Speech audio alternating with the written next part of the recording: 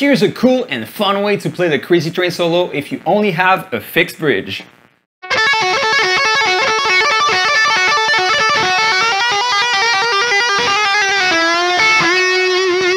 So I call that technique trill bend.